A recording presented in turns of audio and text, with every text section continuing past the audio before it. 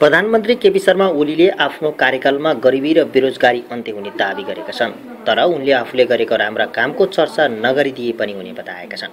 श्रम तथा रोजगार सम्मेलन उद्घाटन समारोहलाई आइतबार काठमाडौँमा सम्बोधन गर्दै प्रधानमन्त्री ओलीले भने मैले गरेको राम्रो कामको चर्चा नगर्दा पनि हुन्छ च्यातेर डस्टबिनमा फालिदिए पनि हुन्छ तर काम चाहिँ गर्नुपर्छ। सुन्दर सुरक्षित समृद्ध नेपाल बनाउन सबै लाग्नुपर्छ।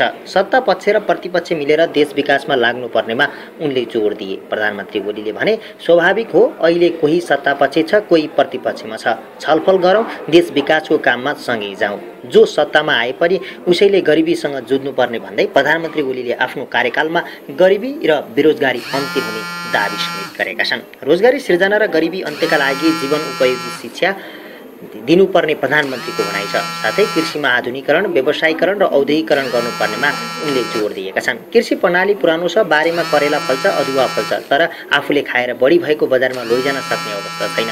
चार भोट सुन्तला लगाएर विदेश निर्यात गर्न सकिँदैन। अब कृषिमा आधुनिकरण व्यवसायीकरण र औद्योगिकरण गर्नुपर्दछ। उनले भने सम्मानजनक काम र न्यूनतम पारिश्रमिकको व्यवस्था गरियो भने देशभित्रै रोजगारी सिर्जना गर्न सकिन्छ। शिक्षासित बेरोजगार उत्पादन गर्ने थलो भएको छ। शैक्षिक प्रमाणपत्र समस्या होइन समाधान बन्नुपर्छ। शिक्षा प्रणालीलाई जीवन उपयोगी बनाउनु पर्दछ। देशको विकास गर्ने काम गर्नुपर्ने तर काम गर्ने इमान्दार नेपाली जनशक्ति विदेश जाने गरेकोले उनले बताए। स्वदेशमै अवसर हुँदाहुँदै पनि नेपालीहरू विदेशमा नै गरेको भनाइ छ। नेपालीहरूमा काम गर्ने रुचि राख्छन् इमान्दार छन् त्यही भएर विदेशी रोजगारदाताले पनि बोलाउँछन्। प्रधानमन्त्री ओलीले भने अहिले दुईवटा कुरा मिलेको छैन।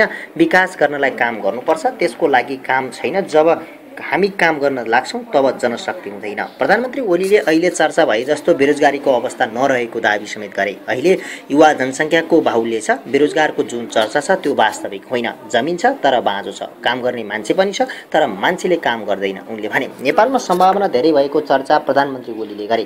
चाङ्गुनारायण मन्दिरको उदाहरण दिँदै प्रधानमन्त्री ओलीले भने सबैभन्दा पुरानो मन्दिर खोज्न नेपालमै आउनुपर्छ। चाङ्गुनारायण अठार सय वर्षदेखि डाँडामा बसेर हेरिरहेछ। पेरिस कसरी उठ्यो भन्ने पनि यसरी नै हेऱ्यो। लन्डन कसरी उठ्यो भन्ने पनि यसले नै हेऱ्यो। कोलम्बसले कसरी अमेरिका पत्ता लगाए भनेर हेरेर पनि चाङ्गु नारायण मुस्कुराए। यो हाम्रो सम्पदा हो यो हाम्रो सम्पत्ति हो। उनले भने हामीले हिमालयन क्षेत्रका पानीलाई साँच्चीकै मिनरल वाटर बनाएर बेच्न सक्छौँ। यार्सा खाँदै हुर्किएको चौरीको दुध बेच्न सक्छौँ। यार्सा खाँदै हुर्किएको च्याङ्ग्राको मासु बेच्न सक्छौँ।